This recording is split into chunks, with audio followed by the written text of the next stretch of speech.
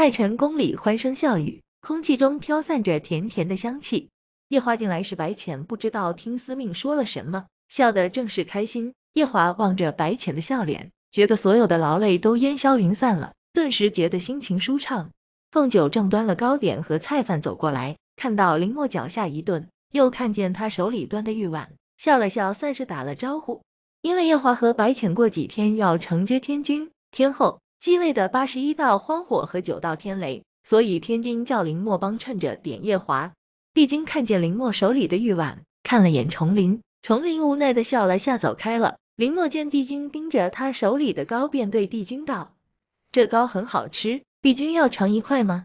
连宋看了眼帝君，道：“他这人不爱吃甜的，爱吃酸的。”拿了块糕，边吃边对帝君笑。一边的司命对众领导：“看来程玉元君和三殿下是和好了。”他们几个人说完正事的时候，菜饭也都好了，在太成宫吃饭。司命早就习惯被虐了。图片：阿离和阿元也早习惯了自己抢肉吃。不过今天司命挺高兴，因为还有林墨陪他受虐。饭桌上不知道是不是因为有林墨在，司命觉得这三个男人一个比一个殷勤。帝君更过分，非得说自己手受伤了，叫凤九喂他。阿离对帝君道：“东华哥哥，我看你有了我凤九姐姐后，生活自理能力越来越差，还不如我弟弟呢。”帝君：“我手有伤。”阿离，我看见你抱凤九姐姐时还好好的呢。帝君撇了下嘴道：“就是因为抱你凤九姐姐受的伤。”凤九赶紧给帝君嘴里送块糕道：“快吃吧。”林墨开心的吃着饭，一点也没受他们影响。一会他端起酒杯对凤九道：“谢谢帝后的饭菜，还有那天出手相救。”他这话音一落，几个人的筷子全都停在了半空。连宋道：“你刚回来，帝后他上哪里救你？你弄错了吧？”图片，林墨很诚挚地道：“不会弄错的。帝后抱着我时，我看清楚了。”又道：“我跟帝后确认过了的。”他见众人都瞪着他，好像不信，又道：“我刚醒过来，又急着回来给义父祝寿。到了天宫时，失去了法术，在多罗树上休息时掉了下来。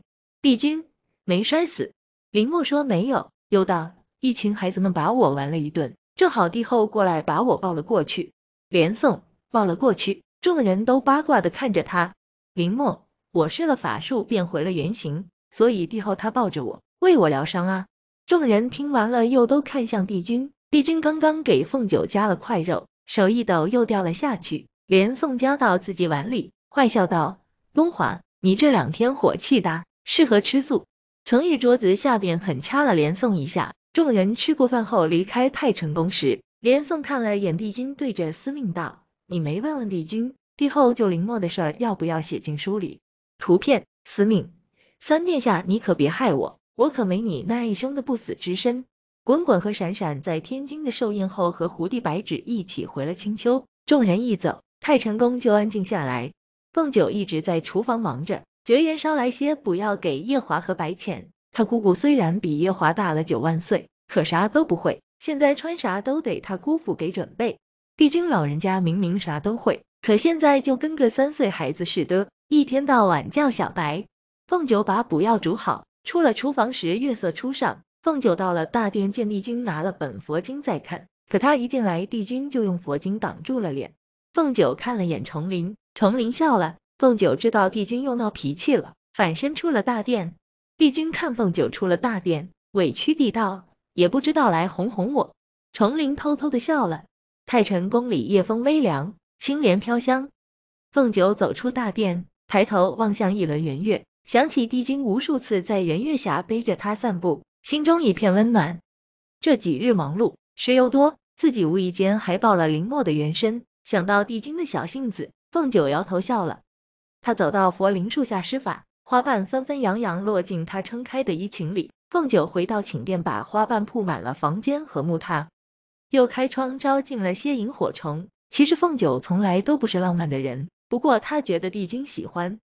凤九换上帝君最喜爱的紫纱薄裙，她躺在木榻上换了几个姿势，都觉得不够妩媚。凤九的风月之事都是来自帝君，所以引诱别人，她也不太知道摆个什么样的姿势。等了半天，帝君居然还没回来，他又从柜子里面翻出个东西，包好了，叫暮云送过去给帝君。帝君见凤九走了，很是委屈，单手支着下颌发呆，想回去找凤九，又想凤九来哄他。图片一会儿暮云过来给帝君个东西，重林很奇怪，明明见帝君都笑了，怎么出了门又返回来把佛经给拿上了呢？帝君推开寝殿门时一愣，他和凤九大婚后，凤九第一次为他做这样的事，心中很是感动。微弱的荧光里，花香涌动，凤九一袭紫纱薄衫。青丝垂在胸前，半侧身躺在软榻之上，那张稚气又妩媚的樱粉小脸对着他，轻启朱唇，软软的叫了声“夫君”。帝君全身像是过了电，手一软，佛经差点掉地上，但帝君立刻稳住了心神，委屈的撅了下嘴，坐到了躺椅上，用书遮到脸上，说：“本君先跟身后。”凤九觉得很是失败，怎么我一个八荒谱上排名第二的美人，连自家夫君都拿不下？凤九下了床，在帝君身边转了圈，道：“新学了飞天舞，练习一下。”他腰肢轻转，间裙袂飞扬，妩媚的脸上一双多情目似秋水流转。凤九边跳边看向帝君，可是帝君脸上的那本书就没拿开过，他有些失望。图片，凤九不知道那本书对帝君来说就是透明的，帝君看的是热血沸腾。凤九的性格那是越失败越有斗志，跳舞不行，那就近身肉搏。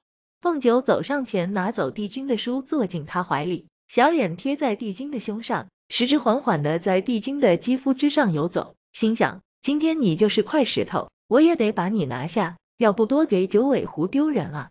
凤九一点点打开帝君的衣衫，双唇在帝君的唇边游移，又亲吻在帝君胸前的那只佛铃花之上。帝君的身体一僵，紧紧地抱住了凤九。